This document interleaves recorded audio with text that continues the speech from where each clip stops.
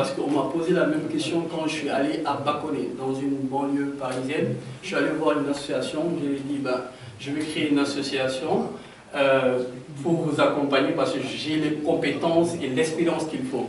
Et ce n'est pas maintenant que je l'ai commencé. Pour les personnes qui connaissent mon parcours savent que je me suis toujours donné sans attendre rien à retour.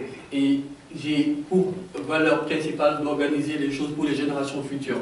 Et quand vous venez en arrière par rapport à mes explications, je, je mets la structure avec les dispositifs qui vont avec pour les générations futures. Ça veut dire que... Voilà, nous comprenons très bien. Voilà, et donc quand je, je ne cherche pas à trouver de l'argent en fait, c'est que quand je mets la chose, vous, vous êtes membre et vous cotisez.